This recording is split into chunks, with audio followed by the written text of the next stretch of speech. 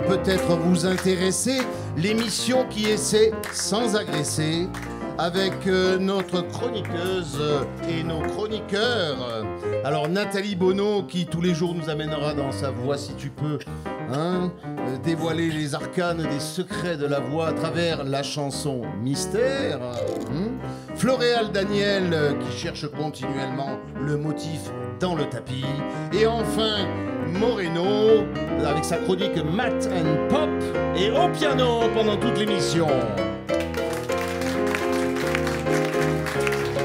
I dream of you, chicks, chicks. Do-do-do-do-do, chibou, chibou,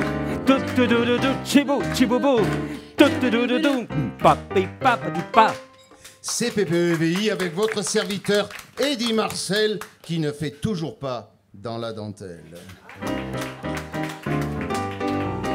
Ce mardi, nous parlons du spectacle Parce que je suis un être humain d'Anoc Lévin par la compagnie Air de Rien de Villejuif, mise en scène par Marine Bénèche.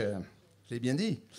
Mais tout de suite, la rumeur publique. Tous les jours, notre reporter Laurent Mandex va écouter les bruits de l'île sur le festival avec son technicien Joe RADOS et nous écoutons ce qu'ils ont enregistré aujourd'hui. J'ai le souvenir euh, de, petites représentations dans la ville dans laquelle je suis né, en Charente, à Chalais en Charente. Il y avait une association qui s'appelait l'Amicale Laïque. Et euh, parmi les activités, il y avait effectivement du théâtre. Et avec mes parents, je me souviens, on, était allés, euh, je devais avoir euh, peut-être une dizaine d'années, je sais pas, euh, assister à, ces pièces de théâtre qui étaient jouées par. euh, voilà, euh. Donc après les souvenirs, oui, bah, j'ai des images. euh, je sais pas. euh, ce qui est surprenant, ce que, je retiens qui, qui est surprenant, c'est le fait que on arrive, on sait que ce sont des gens qui jouent, euh, qui jouent un rôle, qui jouent des rôles. Et on se surprend au bout de quelques minutes à être dedans et puis euh, à oublier que on est dans leur histoire. C'est- c'est- voilà. Si je devais retenir quelque si j'avais dû retenir quelque chose, c'est ça. Et tout de suite, nous accueillons notre invitée du jour, la comédienne Isabelle Louise Michel.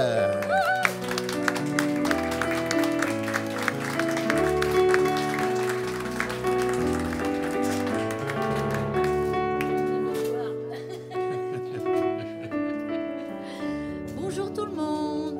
Bonjour Isabelle Louise. Isabelle Louise, vous avez triomphé littéralement hier soir dans la pièce euh, susnommée parce que moi aussi je suis un être humain et c'est un long titre, je l'oublie toujours. hein, mais enfin là je l'ai bien dit. Je l'ai bien dit Ah, vous l'avez bien dit. Ah, parfait, parfait. On va bien s'entendre alors, je pense. Donc, euh, vous, on- vous avez particulièrement triomphé dans les rôles de la ministre euh, et de Madame Jmimet, entre autres, hein, n'est-ce pas? Ah, On pauvre parlera- Madame, mets. Voilà. Humiliée. Hum- Humiliée? Elle a été humiliée. Ah bon, d'accord, à ce point-là. ouais, oui, c'est vrai que ça s'est pas, pas très bien terminé pour elle, hein, n'est-ce pas? Voilà. Mais parlons d'abord, si vous permettez, un peu de vous. C'est la chronique 100% bio.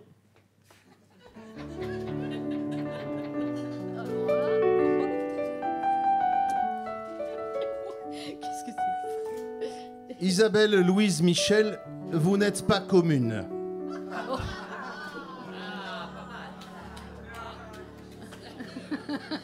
Bravo. Jeu j'avais- de mots. Je craignais quand même un petit peu. Bon, bon, bon, bon, bon, bon, bon. Je m'y mets. Mais je vous préviens, je ne vais pas y aller à la va comme je te pousse. Fou Ça démarre très fort, je ne sais pas si je vais tenir jusqu'à la fin. Louise Michel, Brillant, vous descendez d'une longue lignée de féministes révolutionnaires où toutes les femmes portent le nom de Louise Michel, de mère en fille. C'est vous qui me l'avez dit, hein Puisqu'il n'y a pas de père étant mère- féministe. Ma mère s'appelait Louise Oui, Michel. vous me laissez finir la, la biographie, on parlera ensuite. hein, voilà. Elle est pire que Raymond Vessiguera, décidément. voilà. Pardon. Bon, vous, vous avez rajouté à Louise Michel Isabelle, bien que vous n'ayez pas les yeux bleus. Isabelle, les yeux bleus, les yeux bleus, Isabella. Mais je m'égare en Non, terre inconnue.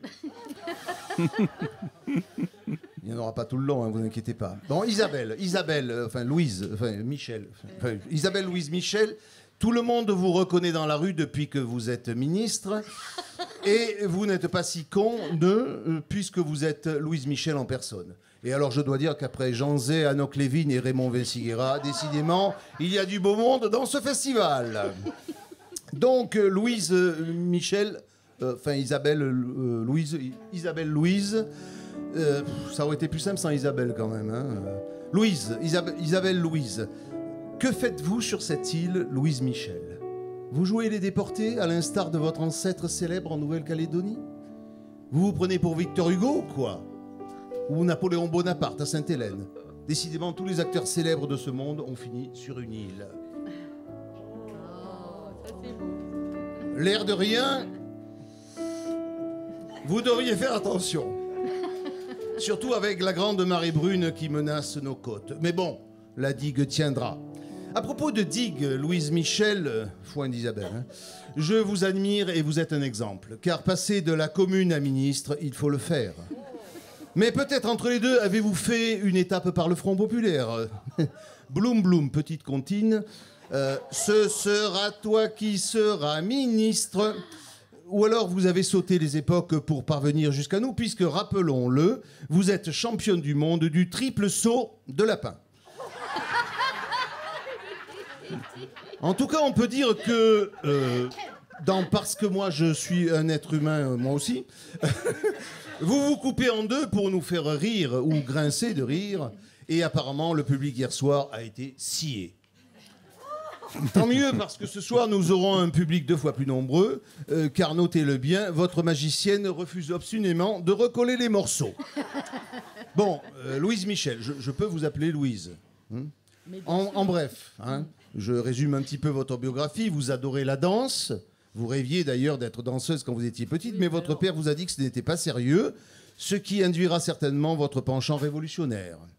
Vous adorez également les livres, vous vous êtes occupé en bonne ministre de la culture des éditions du CNRS, dont vous avez gardé le goût et l'odeur du livre papier. Vous adorez Bah, sentir les livres. technicienne, hein, aussi, hein, dans les éditions du CNRS. Hein, technicienne seulement. hein. Oui, oui, mais bon, c'est pas mal. Maintenant que vous êtes ministre, vous n'allez pas renier, je- vous n'allez pas renier votre. hein. Oui, vous, n'allez pas renier votre poste de ministre quand même, hein, voilà. hein. Tout, le, tout le monde vous apprécie en ce rôle-là. Donc vous adorez sentir les livres, mais aimez-vous aussi les lire hmm? Vous aimez pêle-mêle euh, Nougaro et Stéphane Zweig, mais alors là, Louise Michel, nous avons un problème. Ah, Oui, nous avons un problème car Stéphane Zweig est né à Vienne en Autriche. Et comme nous le savons tous, l'Autriche n'existe pas. Ah, et ne me dites pas le contraire, inutile de faire l'autruche. De toute façon, je crois savoir que vous allez être à la retraite le 1er juillet prochain, c'est-à-dire lundi. Alors, profitez-en pour faire encore plus de théâtre. Pour vous, c'est le temps des cerises permanent qui s'annonce. Pour nous aussi.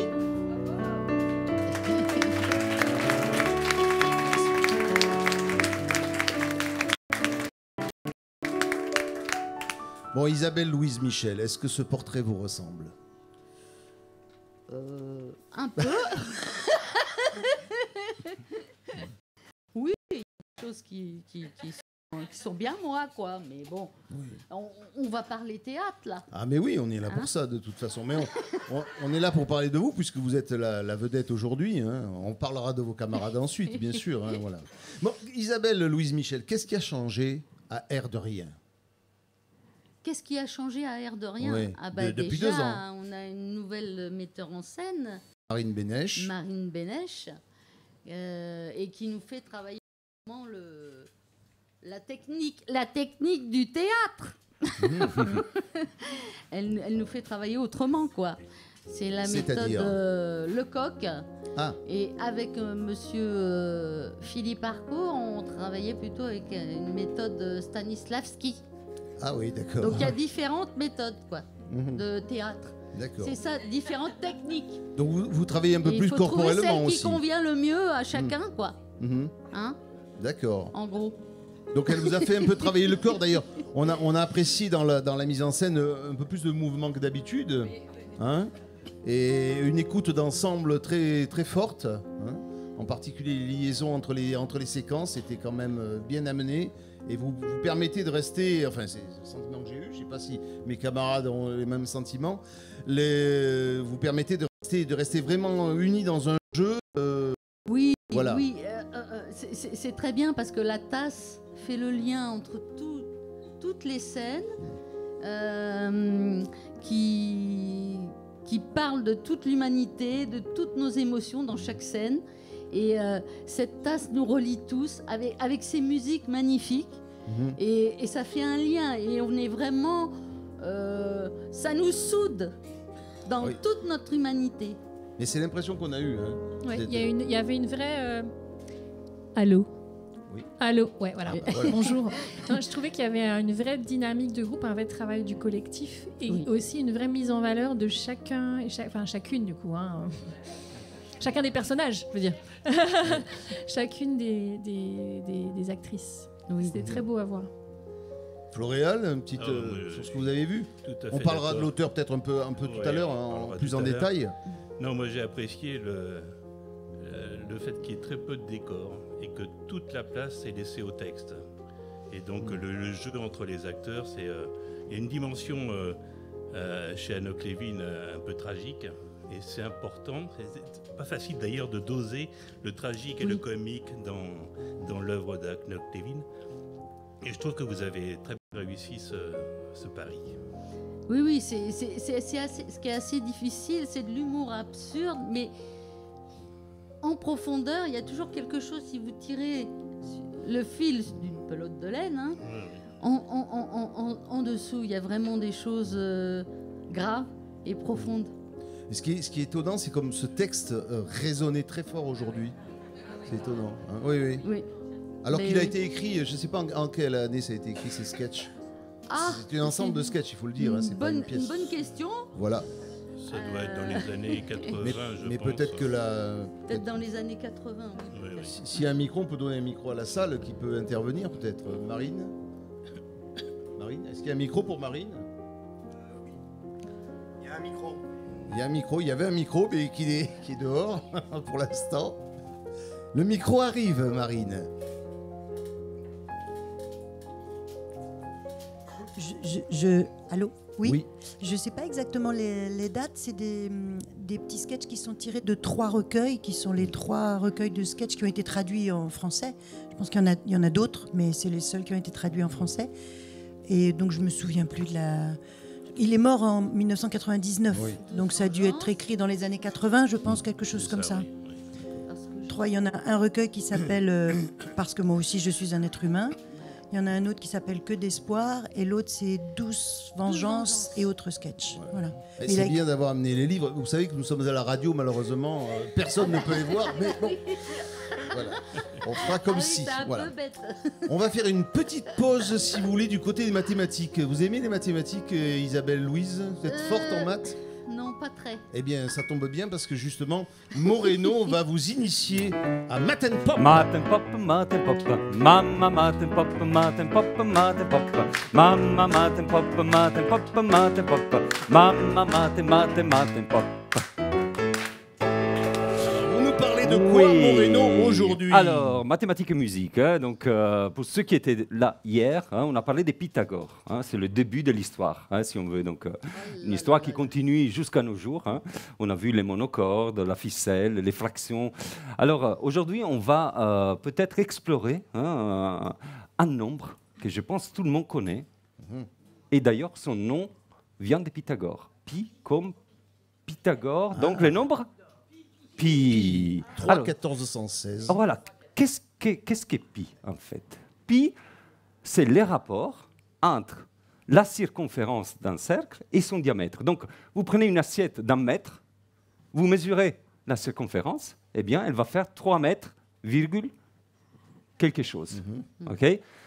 3,14. euh, tro- alors, 3,14, 15, 9, euh, 9, 2, 6, 5, 3, 5, 8, On 9, n'a pas 7, le temps de donner tous les, Voilà. toutes les décimales. voilà, donc ça, ça c'est ça un truc que j'ai fait avec les élèves, hein, les lycéens, et tout le monde me regarde, mais comment vous faites? Alors, euh, il y a une petite astuce, on peut mettre en musique pi. Ah, on peut se servir de la musique parce qu'en fait, la musique, avec la mélodie, hein, ça on l'a bien vu avec Nathalie, ah, la mélodie reste dans la tête. hein. donc euh, si on arrive à mettre en musique pi, eh bien on peut retenir tous les décimales des pi. Donc je vous propose une mise en musique des pi. Donc c'est une petite chanson hein, que j'ai composée multilingue, parce qu'en fait on peut dire les nombres euh, en français, en italien, en anglais, euh, en allemand et même en ukrainien. parce Mais que pas en Autriche. Alors euh, Bah oh, non, ça n'existe plus. euh, voilà, le- le- le- non, non, on va, on va pas, voilà, même pas en australien, hein, je dirais, Ah non, non, non, non, voilà. Parlons pas de l'Australie. Donc, comment ça marche? En fait, c'est très simple. hein. Vous prenez les touches blanches du piano, vous avez la note Do, ça c'est le 1, 2, 3, 4, 5, 6, 7, 8, 9. On a besoin quand même des 1 à 9 pour les nombres. ok? Et après, il y a les zéros. Ah, les zéros, c'est le silence. C'est important. Ah, le silence, c'est oui. essentiel. hein, euh, voilà. John Cage aurait des choses à dire à ces propos. Alors, On parlera. avec deux petits accords. Alors ça, ce sont deux accords majeurs. hein. Do majeur, Fa majeur. Je commence la mélodie des pi. 3, un 4, un 5, 9, 2, 6, 5, on va en Italie. 3, 5, 8, 9, 7, 9, 3, 2, 3, 8, 4, 6, 2, 6, 4, 3, 3, 8, 3, 2, 7, 9, 5, ah, 0, 2, 8, 8, 4, 1, 9, 7, 1, 6, 9, là on est en Ukraine, 3, 9, 9, 3, 5, 4, Odin. Voilà, une petite mélodie. alors, alors, ce qui est intéressant, ce qui est intéressant dans cet exercice, c'est que pi, en fait, les décimaux, les décimales de pi, ne se répètent jamais pareil. C'est pas comme vous prenez 10 divisé par 3, ça fait 3,3, 3, 3, 3, 3, 3, 3, 3, 3, 3, parce qu'en fait, 10 divisé par 3, 3 c'est une fraction. hein, c'est un, un nombre rationnel. Rationnel vient de ratio, en latin, ça veut dire fraction. Pi, on ne peut pas l'exprimer comme une fraction des nombres entiers. Hein. il n'y aura jamais une fraction qui correspond à pi, donc on appelle un nombre irrationnel. Et même transcendant. Ah, les matheux ont des nombres, euh, ont des noms parfois, euh, donc c'est même un nombre transcendant, hein, dans un sens technique en mathématiques. Donc en fait, c'est une suite infinie. hein. et ce qui est intéressant, c'est que bien, même s'il n'y a pas de répétition, la musique avec la mélodie, euh, voilà. Voilà, vous la retraînez.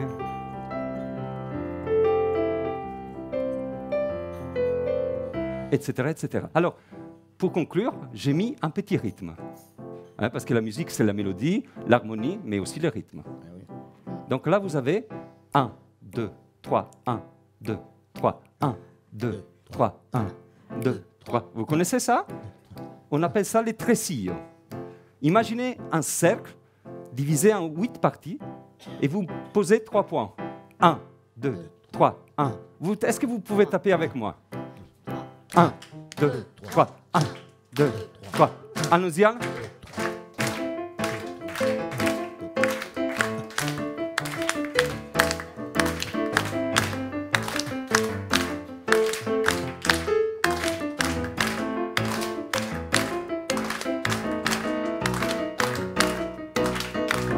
Voilà, on a fait les tangos. Les tangos, c'est les tresillos. Alors, pour conclure, petit problème mathématique. D'où vient les tresillos Pourquoi trois points comme ça, disposés d'un? Alors ça, c'est un problème mathématique. On appelle ça le problème du dîner à table, le dinner table problem. Alors vous avez un dîner à table, à, à organiser. Vous avez une table avec un certain nombre de chaises. Par exemple, huit chaises. Et vous avez trois invités. Alors, euh, on est encore en, en époque Covid, hein, et donc il faut distanciation maximale. Comment est-ce qu'on va mettre les invités pour qu'ils ne rattrapent pas les Covid? Eh bien, on choisit les, trois, les et on est sûr que ça marche. Imaginez maintenant que vous avez une table divisée en 12 places. OK? 12 chaises et vous avez 7 invités. Ah, c'est un problème difficile. Ah, S'il y avait 4 invités, c'est simple. 1, Ou six. 2, 3, 4, ça fait un carré. 6, 1, 2, 3, 4, 5, 6, ça fait Euh, un hexagone. 3, ça fait un triangle équilatéral. Mais 7, 7, 7 Ah. sur 12, les disposer de façon la mieux répartie. Ben, Hmm. Qu'est-ce que vous allez faire? Eh bien, Do, Ré, Mi, Fa, Sol, La, Si, Do. Les touches blanches du piano, c'est la solution du dinner table problem pour un cercle divisé en 12 parties avec 7 invités. Et c'est tout pour Vous avez aujourd'hui. tout compris Merci Moreno. Merci Moreno. Mate pop, mate pop, mamma mate pop, mate pop, mate pop, mamma mate pop, mate pop, mate pop, mamma mate mate mate pop, mate pop, yeah. Merci. Hein J'ai trois raisons de ne pas. Ah bah ouais, il y a trois raisons. euh, donc Ouais. là, il faut changer d'atmosphère. Ouais. C'est des maths aussi. On peut en faire de. C'est à partir d'une formule mathématique aussi, ça? Ouais, ouais, on Pas peut trouver. Peut-être, peut-être. Il Pas faudrait sûr. ça, Moreno. hein. Pas sûr, pas sûr, pas sûr. Non, pas sûr. Isabelle Louise Michel, je suis désolé, euh, Marine Bénèche aussi. J'ai trois raisons de ne pas aimer. Parce que je suis moi aussi un être humain. Ah, Parce que depuis que Marine Bénèche a repris la troupe, ses actrices s'en sont transformées. Elles prennent de plus en plus de plaisir à jouer qu'elles n'en avaient sous Philippe Harcourt. Et bien, moi, j'aimais bien Philippe Harcourt. Surtout quand il les dirigeait. Bon, mais nous aussi, on aimait. euh, Mais je sais que vous l'aimiez beaucoup. Mais d'ailleurs, j'ai un petit extrait en live de répétition du spectacle Jeu de scène de Victor Haïm, joué à Oléron en 2021. Donc, c'est euh, des propos tenus par Philippe vous dirigeant. Paulette Paulette Paulette Ne baisse pas les yeux Isabelle Isabelle, c'est vous. hein. Parle au public, tu dois le concerner. Nelly, Nelly, Nelly, Nelly, je sais, je sais qu'on fait des essais, mais à certains endroits, est-ce que tu peux essayer d'être désagréable hein? Ne regarde pas par terre, Paulette Par terre, tu ne trouveras rien et en plus, on perd ton visage. Ouais, non, non. Eh, euh, vous voyez, on s'a- elles s'amusaient bien, les filles euh, Parcours. Désolé, Marine, hein, mais c'est moins drôle avec vous. Hein, voilà. Bon, je n'ai pas aimé parce que moi aussi je suis un être humain, parce qu'il y a deux petites nouvelles. Ah. Hein, où elles sont ah ben, il en manque- ah ben, elles sont là, elles sont là. Hein, et qu'on dirait qu'elles sont là depuis toujours. Ah, elles sont.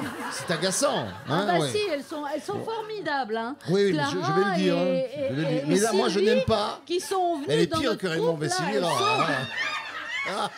Pardon Excusez-moi, on est limité par le temps. Il va falloir qu'on parle de l'auteur après. Je termine ma Ah, chronique que je n'ai pas aimée.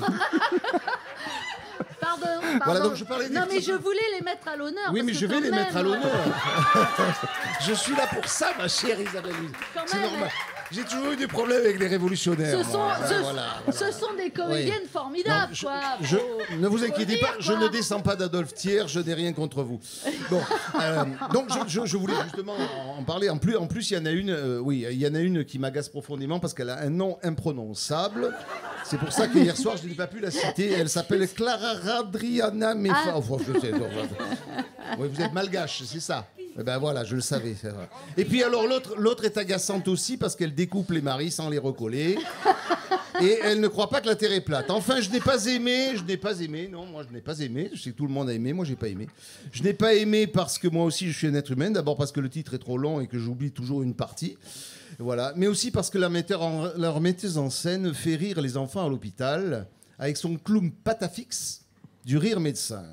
Eh bien, moi, je ne peux que l'applaudir pour ça, alors que je trouve qu'on s'est beaucoup foutu du monde un jour en applaudissant le personnel soignant pour l'oublier trop vite ensuite. Ça, c'est vrai. Bravo. Alors,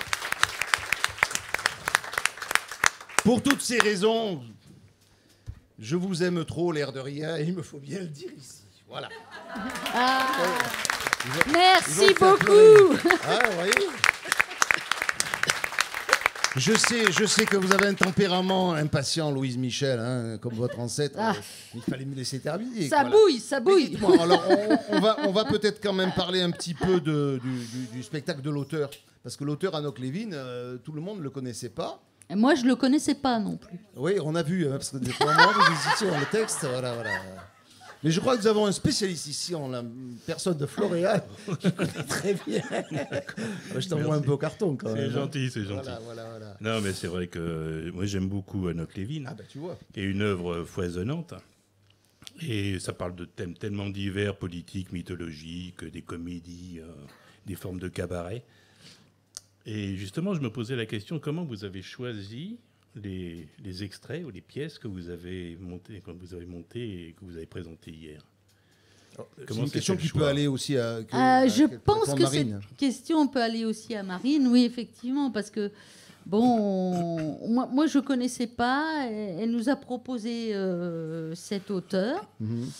et puis euh, on, on- on a fait euh, quand même des lectures avant, et puis, euh, et puis petit à petit, on, on a trouvé que c'était euh, très. euh, cet humour absurde était très, très. hum, très euh, très chouette parce que en, par en dessous il y a un message tellement fort surtout surtout les par rapport à tous les sketchs quoi Mais alors c'est un Ah, message, le- c'est un message comment? C'est un message politique, c'est un message sur l'humanité, c'est un Ben- message qui vous a fait, qui vous a touché, qui vous a, qui vous a dit il faut dire cette parole aujourd'hui? Oui bah, ça parle de nous hein. le, le général c'est l'absurdité de la guerre hein. Mhm. Euh, euh, vous prenez euh, Madame les- Potrouche. Madame, ah, Madame Potrouche. À Madame Potrouche, il y, a- il y a, il y a- il y a les deux, les deux aspects. Alors effectivement, la Terre est pas plate, Ah bon? comme tout le monde le Ah, sait. Mais il y a aussi le côté du personnage qui dit, mais tout le monde dit ceci, tout le monde dit cela, qui fait se poser aussi des questions. Mhm. Est-ce qu'on est obligé de gober tout ce qu'on nous dit? Oui, oui, d'accord. ouais. Voilà, Ouais, par exemple. Parce hein. qu'après on fait n'importe quoi, en votant ou en faisant. hein, voilà. Oui, oui, d'accord. Et alors, Il y, a- moi- y cet aspect-là, il y a les deux aspects. Il y a l'aspect aussi euh, un peu quand même euh, inquiétant de, de, de remise en cause euh, de, de- de certaines choses qui sont Évidentes. avérées avéré. quand ouais. même ouais. aussi. avéré. Cet aspect-là est un peu euh, inquiétant. Nathalie, euh, vous avez quelque chose à, à- à demander à nos, Non, rien du nos tout. invités Ah, rien du tout. elle, attend, elle attend sa chronique. Marine, vous voulez nous dire un mot sur l'auteur? Peut-être pourquoi vous avez choisi, vous, cette, euh, cet auteur? Pour, pour, pour elle aussi, parce que vous l'avez choisi pour elle, c'était pas évident. Vous connaissiez pas le groupe hein, au, au départ? Non, Ah non, oui. je connaissais pas. Racontez-nous un peu. votre- Bah, les, petites contraintes, c'était aussi de trouver des scènes qui puissent être féminisées aussi, puisque c'était que des femmes. Oui, c'est bien le problème. Oui. Donc déjà, ça, voilà. Et puis après, euh, je vous avoue qu'il y avait des scènes même comme euh, l'erreur, sachant qu'on venait euh, Mhm. La première, hein, au la KS première. du. CNRS. Donc je me suis dit, ah, c'est sur un peu les vérités scientifiques, sur quelque chose qui Mhm. peut être vrai, et puis ensuite, plusieurs années plus tard, pas vrai, etc. Il- y a des chercheurs qui se sont reconnus Voilà, d'ailleurs. hein. donc ça... donc ça, ça m'a amusé aussi un petit peu. Euh, pareil pour Madame euh, Potrouche sur le- le- la, la- la remise en cause. euh, Enfin voilà, quand j'ai vu qu'il y a un gros pourcentage quand même aux États-Unis qui croient que la Terre est plate. Donc euh, voilà, c'était aussi, euh, ça me paraissait bien dans le thème. Et puis après. Bah, c'est vrai que la ministre, c'était pas autant d'actualité quand on l'a, quand on a commencé, mais mais en même temps, euh, c'est assez universel. Oui. sur, euh, voilà. Mais- dès qu'elle a dit je suis ministre du gouvernement actuel, ça fait rire. hein. On se demande bien pourquoi. C'est peut-être le actuel qui a fait rire d'ailleurs. Ouais, ouais. C'est ça, exactement. J'ai un petit reproche à vous faire, Marine. C'est, Ça, ça dépend peut-être pas de vous. Avec Moi, plaisir. Je suis un féministe convaincu, vous le savez, tout le monde le sait ici. Bah oui. Euh, dans le sketch de, de, de la magicienne, euh, la, la dame dont le mari a été malheureusement coupé en deux euh, dit le magicien. Elle aurait pu dire la magicienne.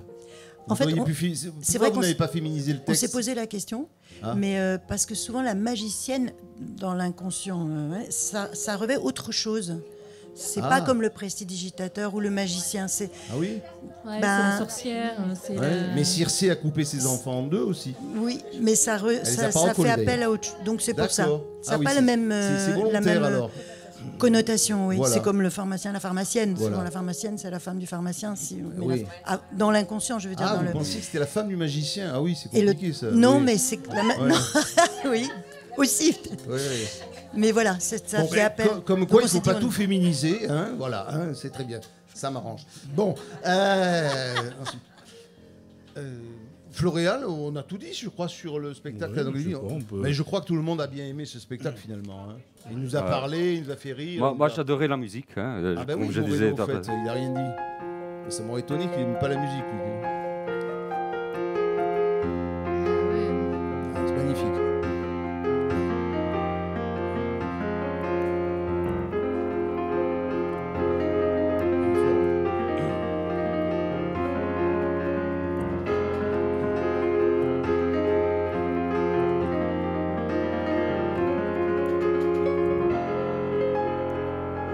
Vais je vais l'utiliser pour des spectacles. Oui, bravo Merci, Wano. Bravo. Eh, Il, il reprend la musique en une nuit, hein, il est quand même fort. hein. Il, y a, il y a beaucoup, il y a beaucoup de musique euh, cette année. Bah, c'est normal, c'est, on, on est en configuration de comédie musicale dans tous les spectacles du festival. J'ai entendu Marseille tout à l'heure, ça promet. On en reparlera. Euh, Isabelle et Louise Michel, euh, vous allez encore rester parmi nous parce qu'on va écouter nos, nos deux autres chroniqueurs. Oui. Mais euh, il y a quelqu'un qui veut vous poser une question. Bonjour, ici le secrétaire du directeur du théâtre de l'Odéon. Monsieur le directeur a eu des échos très élogieux de votre prestation d'hier au Festival d'Oléron et aimerait vous proposer le rôle du ministre dans le prochain spectacle qui sera monté au théâtre. Madame Isabelle Louise Michel, nous serions très heureux que vous acceptiez notre proposition. À bientôt. Alors? Bah écoutez, je vais peut-être réfléchir quand même un petit peu avant de, de prendre ce poste si important. hein. C'est au théâtre, hein, quand même. hein. Vous faites allusion. Hein. Oui, oui, oui, je sais. Et si je par sais. hasard quelqu'un vient vous proposer un poste de ministre dans les semaines à venir, faites attention. Ah, On ne sait attention, jamais. Oui. Oui. Oui. je suis d'accord, va falloir faire attention. hein. Parce que là, ça pique. Ah, ben justement, ah ben alors là, elle me donne la transition. Ça pique, Floréal? Ça, oui, pique. ça pique, ça pique. ça pique. C'est la chronique de Floréal, le motif dans le tapis. Voilà, c'est une chronique qui s'appelle Hérisson, donc évidemment. Ah, oui. Elle ne savait pas. hein. Alors euh, bon, après avoir vu la pièce d'hier, j'ai j'ai beaucoup apprécié. Et j'aime beaucoup euh, Anne Clévin, je l'ai déjà dit. Les pièces sont centrées souvent sur les individus, des familles, des amis ou des voisins qui forment une micro-société dont l'espace dramatique se limite au quartier. Alors il fait parler des petites gens dont le principal problème dans la vie est la vie elle-même. Et donc ça m'a donné l'idée de la chronique d'aujourd'hui. Il y a quelques années, j'avais un jeu avec un de mes fils presque chaque matin. Il me donnait un mot et le soir, je devais lui lire une histoire que j'avais imaginée en rapport avec le mot. C'était par exemple De l'autre côté, Hérisson, pour d'infimes progrès. Il fallait aller vite et surtout pas travailler les phrases ni la ponctuation, ça donnait forcément un rythme. Alors j'ai adoré faire ça. Et l'an dernier, j'ai réuni et publié quelques-uns de ces textes. Et c'est justement l'un de ces textes que je vais vous lire ce matin. Alors ça se passe dans une cité au nord de Paris. On y suit une bande de gamins qui traînent, qui s'ennuient, qui se racontent leur quotidien, leur goût, le- leurs envies. Il y a Tonio, le plus normal de la bande. En fait, c'est euh, c'est lui le héros, si on veut. Nadia, sa copine. Aziz, le philosophe de la bande. Bismuth, le crétin gentil. Agège, le truand, mais qui a des circonstances atténuantes. Alors la scène que je vais vous lire, c'est un monologue de Tonio. Ça se passe euh, un jour après que Tonio a participé à une combine imposée par Agège. Il s'agissait de faire le guet pour quelque chose de... bon. Alors Tonio, c'est Tonio qui parle. On a compris la combine d'Agège le jour où il s'est ramené au local avec un méga carton. Il y avait Bismuth qui racontait à tout le monde qu'on bradait des hérissons. Nous, les hérissons, on n'en voulait pas, mais on est venu quand même. C'est quand on a ouvert le carton qu'on a pigé à quel point Bismuth, sa mère, l'avait pas fini. Il y avait, je pourrais pas dire combien de téléphones neufs de chez neuf dans leur boîte d'origine. Quand il a vu ça, Aziz, il a donné une baffe sur la nuque à Bismuth. Qu'est-ce qui est écrit sur la boîte il a dit. Et il en a recollé une. Il a gueulé Ericsson du con. pas hérisson.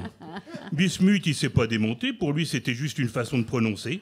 Chacun son accent et les vaches seront bien gardées. C'est pas un blédard qui a lui donné des leçons vu que lui et sa famille étaient bretonnes depuis la préhistoire. Bon, pour son daron, il pouvait rien dire vu que personne ne savait qui ça pouvait être, même pas sa mère. Agege a calmé l'affaire tout de suite vu que la braderie commerciale allait commencer? Ils sont tous venus récupérer leur téléphone, même ceux qui en avaient déjà un ou plus, vu qu'au prix où Agege les avait mis, ça valait le coup. Tout le monde était content, c'était du win-win, la célébration de la libre entreprise, comme disait Aziz qui regardait trop TF1. D'un coup, on n'a rien vu venir, mais ça a dérapé sur la politique directe. D'habitude, on essaie d'éviter, vu que ça se termine souvent en baston, mais là, c'est Gilles qui a démarré la prise de tête. Moi, obligé, je suis capitaliste, qui dit.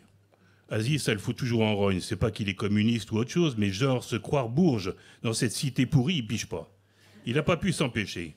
T'es con, t'as pas une thune. Gilles, ça l'a pas démonté. N'empêche, je peux pas être de gauche. Partager le pognon avec les traînes savates, va chier. J'en ai déjà pas pour moi. Je m'appelle pas l'abbé Pierre, et comme en plus je suis écolo, la boucle est bouclée. Alors forcément, nous on s'est regardé. On n'avait pas compris le rapport entre les écolos et les bourges. Il a expliqué en parlant doucement comme s'il expliquait à sa petite frangine. Prums, l'écologiste, il kiffe la nature, tu me suis? Deux yeux, la nature, elle est droite, vu qu'à la campagne, c'est chacun pour soi, ok? Le gros, il bouffe le petit. Du coup, les écolos, forcément, ils sont pas de gauche. Moi, j'ai compris ça quand la prof de SVT a parlé de l'anglais Darwin, qui avait fait rièche les tortues à l'autre bout du monde. C'est là que Bismuth a tenté un truc. Mahmoud Darwin Alors lui, il fallait bien qu'il la ramène, pas moyen qu'il rate une connerie. Aziz a voulu lui en mettre encore une, mais le con avait vu venir, il a esquivé, et c'est là que Nadia s'est pointée. Normalement, les frangines, elles viennent pas au local, mais Nadia, elle va partout. Va lui dire un truc à elle. Son père, ancien boxeur pro, 120 kilos de viande halal. Tu touches à la petite, t'es estropié minimum. Tu peux déjà commander la chaise roulante. Moi, c'est pas pareil. Nadia, c'est ma meuf, un peu comme si son père et moi, on était associés 50-50. Je lui dis Qu'est-ce que t'as foutu hier? Tu devais mettre le sac dans le coffre et rester à surveiller qu'on nous le pique pas comme les enjoliveurs de la Punto aux gardiens de la Toursée. Alors lui, je vous raconte, c'est un taré du tuning. Sa bagnole, même sa mère la reconnaîtrait pas. Rien d'origine, mais comme elle est souvent dehors, tout le monde va se servir. La bagnole, du coup, je crois qu'il la finira jamais. Dans la cité, ou bien t'as une caisse pourrie et tu passes pour un blaireau, ou bien t'as la méga bagnole et on te la dépouille direct. C'est pas méchamment, c'est c'est juste un réflexe. Bon, je reviens à Nadia. Le sac, elle l'avait ramené chez elle, bien planqué, c'était déjà ça. Faudra que j'aille le récupérer, vu que ce qu'il y a dedans, faudrait pas que ça se sache. Même moi, j'avais pas osé regarder quand les deux tubes du 140 me l'avaient mis dans les mains. Tu gardes ça deux, trois jours, on viendra le récupérer. Dis-moi, c'est quoi j'ai demandé. T'occupe pas, il me dit, et il se. Alors avec eux non plus, faut pas commencer à discuter. Les types du 140, même à Gège, ils restent à l'écart. Question de territoire. L'après-midi, avec Nadia, on est parti faire une virée RER. On a traîné au Virgin Megastore des Champs. Le grand jeu, quoi. Merci Floréal.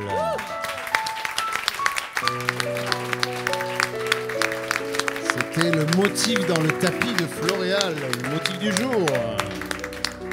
Ah, il arrive toujours à nous trouver des motifs cachés dans ces tapis. hein. Tu me ferais une petite lettre? Genre ça Ouais. Ah oui, ouais, c'est bien ça. Ouais. Alors là, c'est une rubrique que nous allons avoir dans les jours à venir. Aujourd'hui, elle sera vide, à part la musique de Moreno.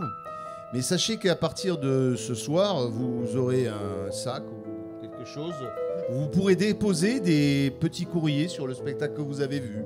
Une phrase, euh, une impression. Et on en tirera au sort et tous les matins dans notre émission, on lira une ou deux lettres, un ou deux mots de spectateurs. Donc pensez dès ce soir à mettre vos mots dans notre boîte à courrier. Merci Moreno.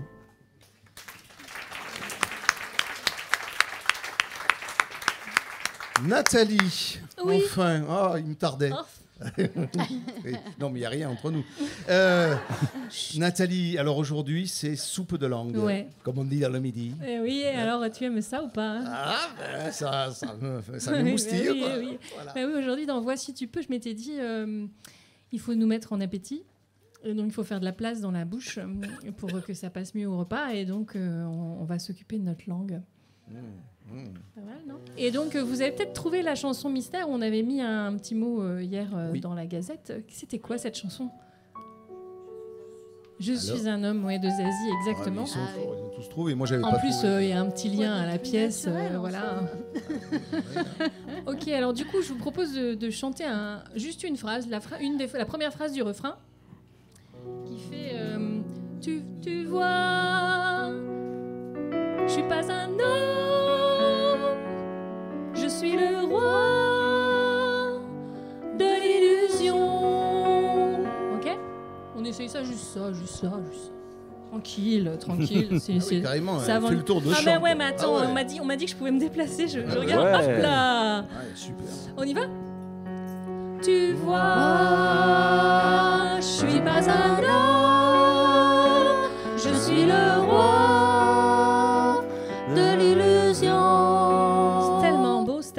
sont bons. Hein. Ouais. C'est pas bon. Ouais, ils sont bons. Alors on va essayer différentes expériences, euh, lin- pas linguistiques mais linguales.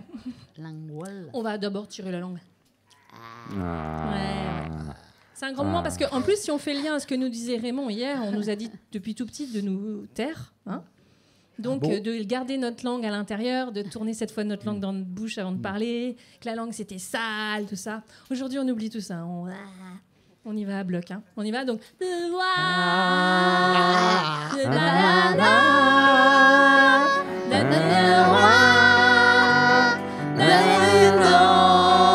Super. Et vraiment sur la note aiguë, là, tu on y va à bloc. hein. Toutes les notes un peu, un peu hautes, là, on, on sort, on, on lui fait faire du surf dehors, ok? Encore. Tu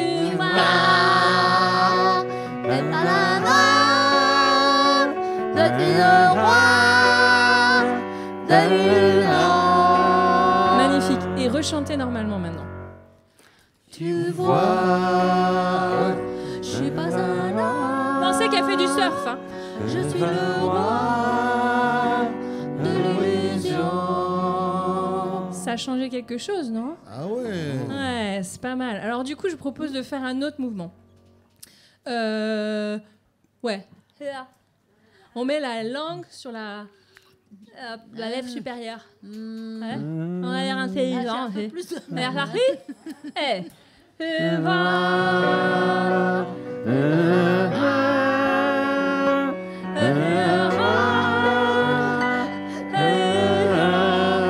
Ça tire hein, dans les mâchoires, non Ouais, ça tire dans les mâchoires. Du coup, on refait pour le plaisir. Heureusement qu'on était à la radio. hein.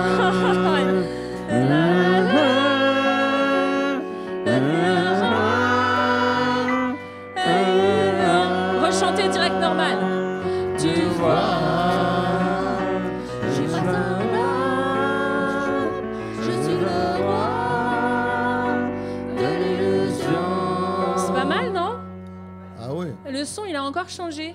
Ah, Vous ah. diriez que ça a changé comment Ben. En plus. Plus ample, là Ah oui. Plus, Plus clair plus haut. C'est plus, haut, plus facile dans à les chanter. cheveux. hein. Ouais. Ouais. Et ben voilà, c'est la, suite de notre chemin résonantiel dans le corps de la voix de, de cette semaine. Et j'espère que ça aura fait un peu de place pour que vous verrez si vous avalez différemment. Hein? Allez, bonne journée. Merci Nathalie, Ah, c'est merveilleux. Ça donne envie de venir chanter avec toi. hein. Ah ouais. Je te dis pas les autres applications. Hein Je t'ai pas expliqué les autres applications. Ah Non. Waouh. Je crois que je vais me libérer les après-midi. là. Ouais. Euh, Floréal, vous avez un petit mot à nous dire. Oui, juste un petit mot. Petite précision. Hier, après ma chronique, je parlais d'amour. Et certains d'entre vous, probablement les plus romantiques, ont déploré que mon histoire se termine de façon qui- si tristement banale. Alors c'est que j'ai pas raconté la fin de mon rêve. Alors je vous la dirai demain au préambule de ma chronique sur euh, le poids de l'âme. Voilà. À Ça, demain. vous êtes obligé de venir demain aussi. Et voilà. Eh bien, voilà. CPPEVI, c'est fini pour aujourd'hui. Alors demain, nous parlerons du spectacle de ce soir. Par la fenêtre ou pas de Pierre Note par le Tripiti Théâtre, mise en scène Raymond Vinciguera. Nous recevrons demain dans ce studio à la même heure, à 11h30, l'immense comédien du triptyque Clément Durochard. Voilà. Et je vous rappelle bien entendu les ateliers de l'après-midi avec la merveilleuse Nathalie. C'est la dernière, c'est la dernière édition cet après-midi où c'est en libre. Après, c'est vraiment euh, travail Voilà. avec pour la comédie musicale. Donc, si vous avez envie de cours particuliers. après, c'est- Voilà, mais c'est plus cher. Hein. Voilà, l'émission se termine aujourd'hui. D'ici là, vive les 14h30. mots, vive les actrices, vive les acteurs, vive les metteurs en scène, vive les metteurs en scène. Et n'oubliez pas que l'art et la parole sont résistance. It's wonderful, it's wonderful, it's wonderful. I dream Merci Isabelle. Louise, merci. Merci d'avoir participé. Voilà.